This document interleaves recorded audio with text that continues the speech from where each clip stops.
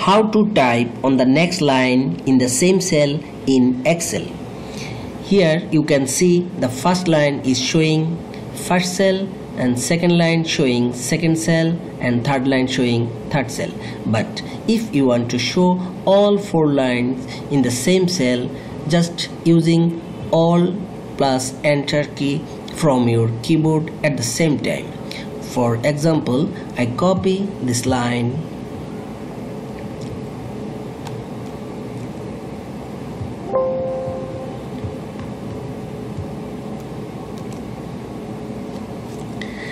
now I would like to line break after how to write.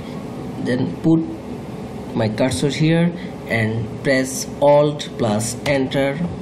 And you see the more than one line starting from the second line. If you want to another line break just down key in MS Excel put here my cursor and press alt plus enter. Okay? Thanks for watching this video. Bye bye